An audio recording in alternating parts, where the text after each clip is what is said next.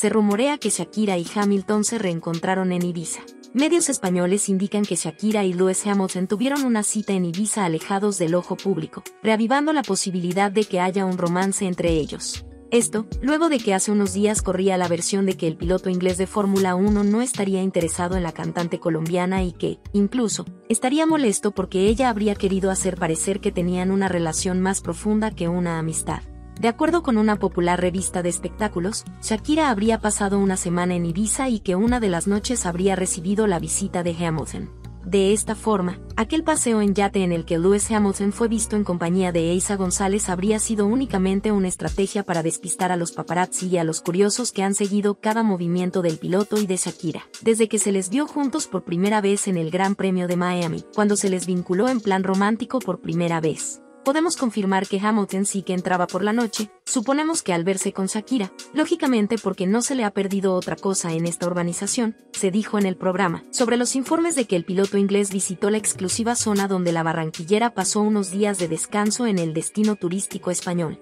Los informantes de la periodista le habrían dado detalles pormenorizados sobre las instalaciones del lugar en el que Shakira ha estado en Ibiza, así como de la visita que Lewis Hamilton le habría hecho a su famosa amiga. Toda esa zona son villas, Shakira ha estado siete días enterrada en esta villa Cocoloco, espectacular, unifamiliar, enorme, con todos los servicios de lujo. Solo ha salido dos o tres días a comer fuera y si podemos confirmar por una persona con la que he hablado, que ha visto a Hamilton entrar aquí una de las noches a la urbanización, explicó una reportera. En este sentido y de acuerdo con los informes, Shakira y Lewis Hamilton se habrían mantenido siempre en contacto y su distanciamiento habría sido un juego pensado únicamente para acallar los rumores y poder disfrutar de su amistad especial, la que, de acuerdo con los paparazzis y reporteros, les daría a ambos la libertad para hacer lo que quisiesen. Sin embargo, el complejo en el que se hospedó Shakira les habría dado la oportunidad de estar juntos, lejos de las miradas curiosas de la gente y de la lente de los paparazzi, como ha ocurrido en otras ocasiones.